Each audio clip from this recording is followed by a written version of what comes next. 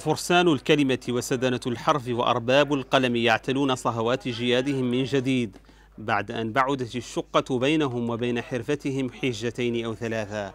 سوافي المور والقطر كادت أن تمحو آثار القوم الذين انشغلوا بإصلاح ذات البين وتركوا الأدب رهين المحبسين. وها هم آبوا من جديد لنفض الغبار عن مأذور القول. ومألكتهم إلى القوم أنا عدنا ولو من بعد حين. ها قد عاد الفرسان إلى صهوات الجياد ودوت في سمع الزمان حماحم خيل بشرت بركوب.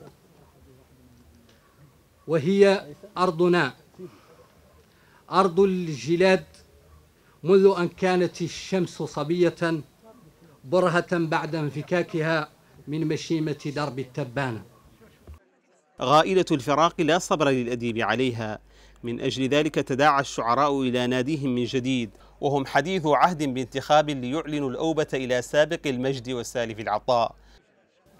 السادة رؤساء وسدنة الأدب في العالم العربي على التهاني التي بعثوا بها إلينا وأشكرهم خاصة على إعطاء مكانة كبيرة للأدب والأدباء في موريتانيا.